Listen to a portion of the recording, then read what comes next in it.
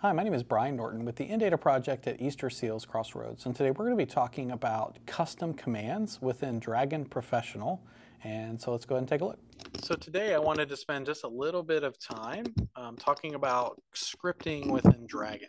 And scripting can be really useful if you have, if you're a power user, maybe you want to do a dictation shortcut where you can say a small, simple command and put a lot of text out there on the screen, things that you say commonly or redundantly um, in whatever work that you do, things like my address um, or those types of things. And so um, you can say those um, and get those to automatically show up out there for you.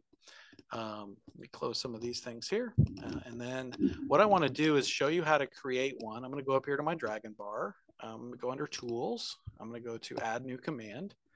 Um, under the Add New Command, it's going to open up a dialog and it's going to come up and say, what's your command name? That is what you want to say when you want to activate that command. And so I'm going to say my address You've got a couple of options. You can define it per user. So if you've got multiple people using the same computer and the same software, the same Dragon version, um, the same Dragon that's installed here, you can actually define it by user.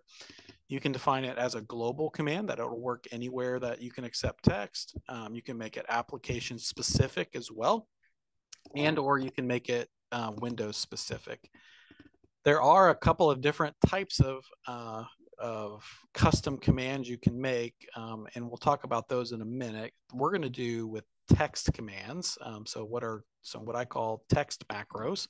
So mm-hmm. down here, what I want to do is just put in my address, and I'm going to say Brian Norton, and I'll do 4740 Kingsway Drive, Indianapolis, Indiana 46205.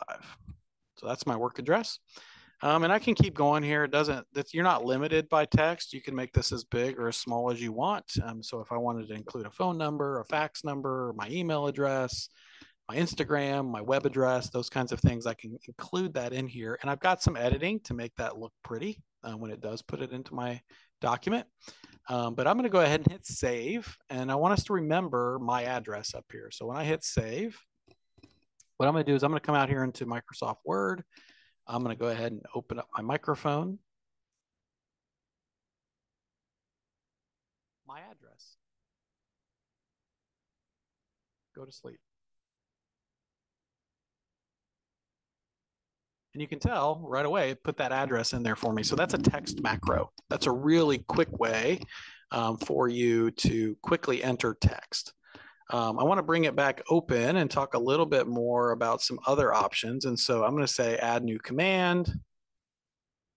It's going to open up that dialog. And I'm not going to create one, but I'll highlight and talk about what these do. Um, there's something called a macro recorder, and that'll actually just record your screen. Um, sometimes I find this really useful when I'm in a program that has controls or buttons or things that I can't get to um, using commands. Um, I can simply record my screen, have someone move the mouse around, click on things. It'll actually record all of that for me. And when I tie a command name to that recording, it's actually going to move the mouse and click on all these different things and create um, a step by step or a macro recording for me. Um, I also have a step by step where I can actually have it do different things. I can put keystrokes in there, I can have it open applications, do all sorts of things for me um, on a step-by-step command.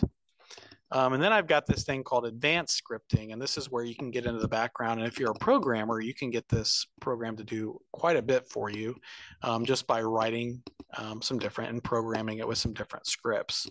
Um, Dragon is pretty sophisticated. Um, a lot of folks don't need this level of support, um, but if you do, it does have quite a bit built into it to make using the computer, navigating different programs much, much easier. Um, and so I would encourage you, if you're wanting to do even do text macros, I think those are helpful for most folks.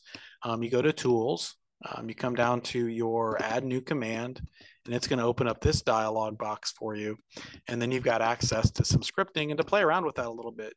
Um, it's really, really useful tool. We use that for a lot of the folks that we serve um, to make things a little bit faster, more productive, um, and more efficient for them um, in different workplaces or home applications.